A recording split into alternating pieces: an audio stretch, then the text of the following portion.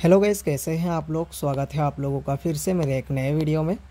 आज मैं आप लोगों को बताऊँगा गाइस कि Samsung Galaxy A twenty three five G phone में आप लोग ऐप हाइट कैसे कर सकते हो। अगर आपके पास एक Samsung Galaxy A twenty three phone है और इस फ़ोन में जो आपको ऐप हाइट करना है, अगर आपके फ़ोन में बहुत सारे ऐप्स है और किसी किसी ऐप को जो आपको छिपा के रखना है, यहाँ पर आपको जो ऐप लिस्ट में शो नहीं करवाना, आपको हाइट करके रखना है।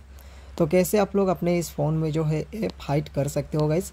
तो आज के वीडियो में मैं ही बताऊँगा आप लोगों को। इसलिए वीडियो को लास्ट तक देखिए और अगर वीडियो पसंद आए, वीडियो को लाइक कर दीजिए और चैनल को भी सब्सक्राइब ज़रूर से कर लीजिए। तो चलिएगा इस वीडियो को स्टार्ट करते हैं।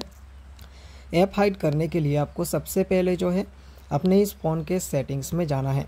सेटिंग्स में जाने के बाद थोड़ा सा नीचे स्क्रॉल डाउन करेंगे तो आपको एक ऑप्शन देखने को मिलेगा इस होम स्क्रीन का। तो इस होम स्क्रीन के ऑप्शन पे आपको क्लिक कर देना है।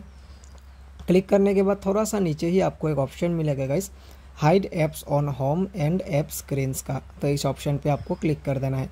क्लिक करते ही यहाँ पर आपको बहुत सारे ऐप्स देखने को मिलेंगे, आपके फ़ोन में जितने भी ऐप्स होंगे। तो जिस भी ऐप को आपको हाइड करना है, उस ऐप को यहाँ पर से सिलेक्ट कर लेना है। सिलेक्ट करने के बाद नीचे डन का ऑप्शन आएगा। डन पे क्लिक कर देंगे तो जो ये ऐप आपने सिलेक्ट किया था वो हाइट हो जाएगा। जैसे कि मैंने BGMI को हाइट किया था तो देख सकते हैं यहाँ पर हमारे जो BGMI है वो हाइट हो चुका है। मेरे एप लिस्ट में आप लोग देख पा रहे होंगे BGMI शो नहीं हो रहा है। उसके बाद अनहाइट करना भी एकदम ईजी है, आपको सेम उसी ऑप्शन पर जाना है। उसके बाद देख सकते हैं अगर हिडन ऐप्स देखने को मिलेंगे। यहाँ पर ऐप्स के ऊपर जो है माइनस का ऑप्शन है, इस पर क्लिक करेंगे। क्लिक करने के बाद डन का ऑप्शन है डन पे क्लिक कर देंगे तो जो ऐप है वो फिर से अनहाइट हो जाएगा। देख सकते हैं अनहाइट हो चुका है। तो कुछ इस तरीके से आप लोग अपने Samsung Galaxy A twenty three phone में आप लोग ऐप हाइट कर सकते हो।